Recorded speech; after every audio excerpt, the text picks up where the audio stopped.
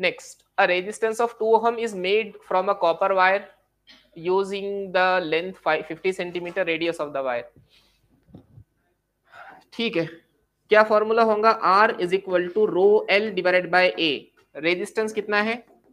Resistivity 1.7 10 power minus eight length है 50 into ten power minus two area कितना होगा? Pi into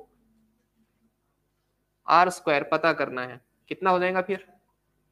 R square is equal to 1.7 into 10 power minus 10 divided by pi into 2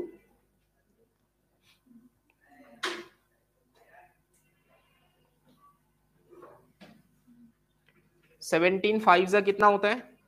eighty five ना? Eighty five तो यहाँ आ जाएगा eighty five divided by pi into two into ten power minus ten square root ले लो.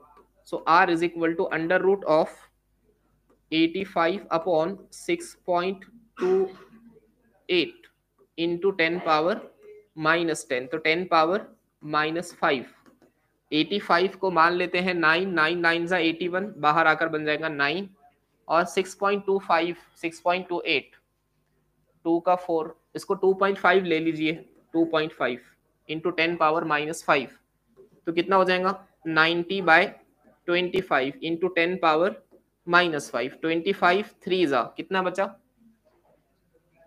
Fifteen twenty five six जा. Three point six into ten power minus five metre so answer आएगा zero point zero three six decimal एक और दो से पीछे. तो यहाँ कितना बचेगा? टेन पावर माइनस थ्री मतलब आंसर आएगा zero point zero three six m m option B correct होगा।